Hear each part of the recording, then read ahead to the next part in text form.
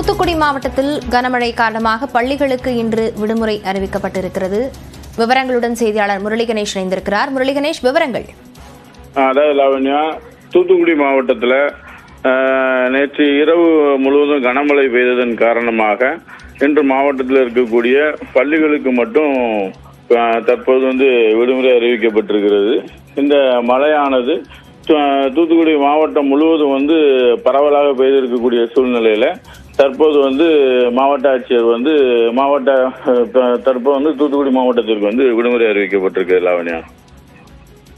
லான நெல்லை தூத்துக்குடி தென்காசி கன்னியாகுமரி ஆகிய மாவட்டங்களில் பள்ளிகளுக்கு இன்று விடுமுறை அறிவித்து அந்தந்த மாவட்ட ஆட்சியர்கள் உத்தரவு பிறப்பித்திருக்கிறார்கள்.